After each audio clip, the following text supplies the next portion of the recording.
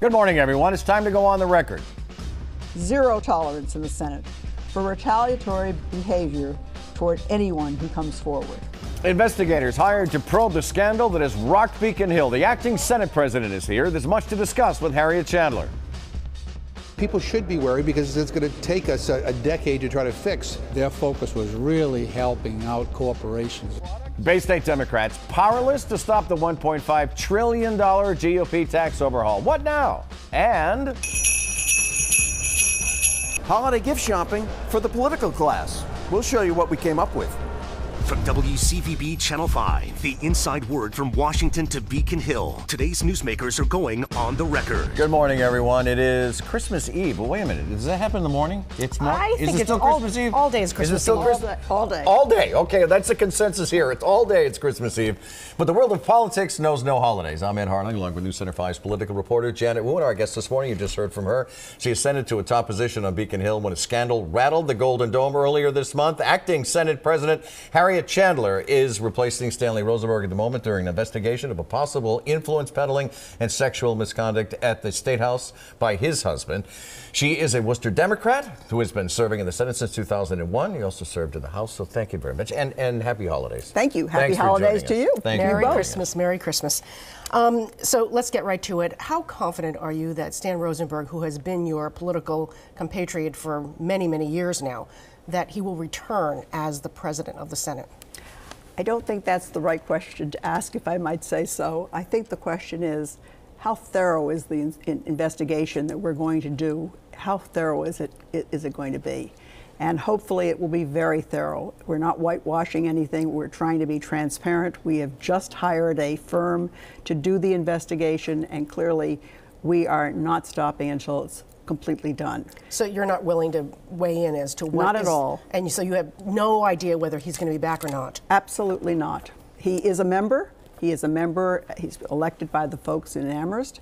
Uh, but what happens will depend completely on what that investigation shows. This, this must be personally painful for you since you are you have been good friends with Mr. Rosenberg for so long. I think it's painful for everyone in the Senate. It's painful for everyone in the legislature because you know you, you paint us with a very broad brush and, and something like this really affects everyone.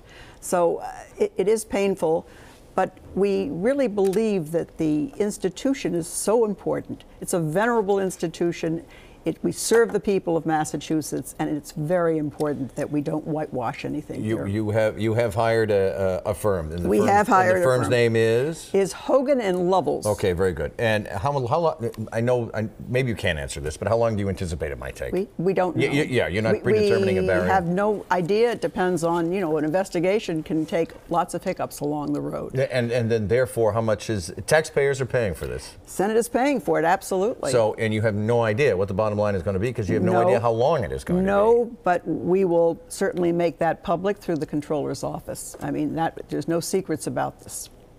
Uh, many people on Beacon Hill are walking around on tiptoes these days, not only in the Senate but also over in the House. Are you worried about more allegations being made public, both about the Senate and the House? Well, I've heard the same rumors that everyone has heard. I don't know anything more than anybody else knows. But quite frankly, the world is walking around on tiptoes, on eggshells right now, because we're in a conversation across the country on the whole issue of sexual harassment, sexual assault. And it's really talking about power men, women, power. And uh, that's what we, where we seem to be as, as a country right now. And of course, we reflect it in the legislature as well as businesses and other, other places. This can't be anything though that. It, it, in, in your time in public service, have you have you witnessed similar behavior maybe 10 or 15 years ago that for some reason became acceptable that is no longer acceptable today? I don't think it was ever acceptable. Right. I think that the issue here was that, and it was women usually who were the victims, women who really had no place to turn, no one to talk to, no one worried about their jobs. We've seen that across the country in many of the allegations that were made. Uh, now we realize it's not just women, it's men and women, and it is a power issue. So, so let's talk about the Senate presidency. Uh, there are three women and a, and a man interested right now at being the next Senate president. You've asked them to suspend campaigning, but in this environment, how important do you think it is to have a woman? Should a woman I don't think it ma- ultimately emerge? I don't think it makes any difference Yeah. whether it's a male or a female. To be honest with you, I think hopefully the best person will will will will uh, rise to the presidency. It will be a decision made by my colleagues in the Senate. But will a message, a different message, be sent to the voters of Massachusetts if the Senate, for some reason, the next Senate president is a woman? Would it be um, a message to people? Will, is it a brand that you would welcome? Well, I always welcome women getting involved in politics, Janet. I, I, I hope we'll see more of them. But to do that, we'll have to see more women in the pipeline, and I'm certainly encouraging that. But you've got Uh, three women now that are We've got three women, but you know, this is only the beginning. I believe that before we're through, we'll see more than the four that have already thrown their hat in the ring. So uh, just just because the show is called on the record, you don't want us to be you don't want the permanent position. I do not want that. I You just heard wanna- it here first. I first. just want to ask you that. I do not want it. Why I, wouldn't you want it? Right. It's an enormous amount of work. It's an enormous amount of, of responsibility. It's not the work. I've always worked hard. It's the responsibility. You're running uh, a very venerable chamber. And uh, I am not 20 years old, as you all know. The world By the knows way, it. happy birthday. I know you celebrated you. an Thank important you. birthday this it's past a week. very important birthday, and I was never one, I never hid my age, but clearly I didn't expect to turn 80 in front of the world. And I did, and you know, it's better than the alternative, not turning 80 at all. So I'm, I'm, I'm happy with that. What day is your birthday? Just It was yesterday. Yeah, okay, very good. Mine was the 14th. That's the Oh, only reason very that I asked. good. All right, you ready for the OTR pop quiz? I have in my hot little hands the OTR pop quiz. This is, look at the look she's giving me. There should be a camera on this right now. The look that I'm getting here. All right, since since you ascended to the Senate President's office because of the scandal, we thought we would walk down the corridor of past Beacon Hill misdeeds. Oh. Here's question one, and we'll start you off relatively easy.